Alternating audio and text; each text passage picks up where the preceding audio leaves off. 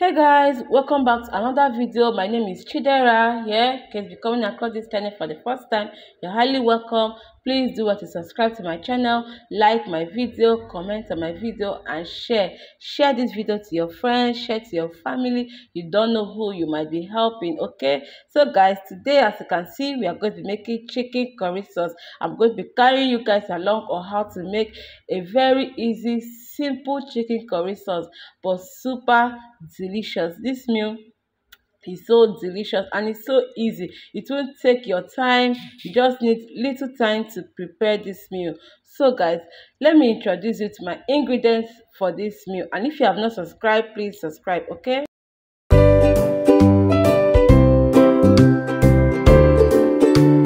So to make this chicken curry sauce i have my chicken here. I have my corn flour. This will serve as a binder. This is what I'm going to use to thicken my sauce. I have my bell peppers here. I have my yellow bell pepper, green, red. I have my carrots. I have my onions, my ginger, my garlic, and my scotch bonnet pepper. For my seasoning, I'm using curry powder, salt, seasoning cube, thyme, and chicken seasoning. So guys, let's start cooking. Before we proceed, if you have not subscribed to my channel, please do subscribe to my channel. Okay, like my video, comment on my video. Feedback because this year I'm about to take you guys on a very beautiful ride. This is me saying thank you so much for 2022. Thank you for your love. Thank you for your support. I do not take any of those for granted. Let's start cooking. So guys, to start with, I've already added my chicken in the pot. I will go in with my seasoning powder, my curry powder, my thyme, my chicken seasoning.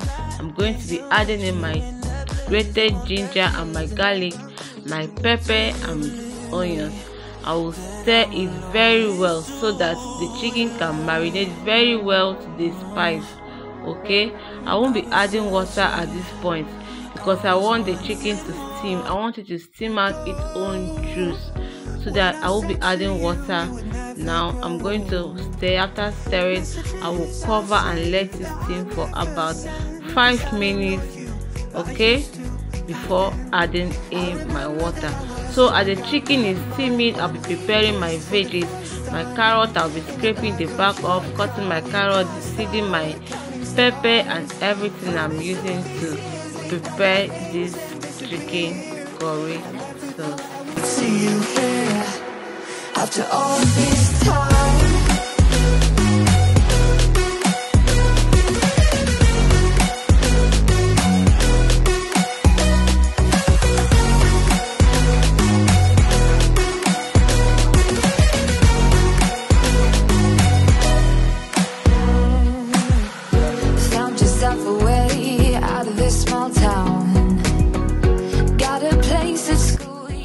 So guys? Five minutes later i will add in water to the pot.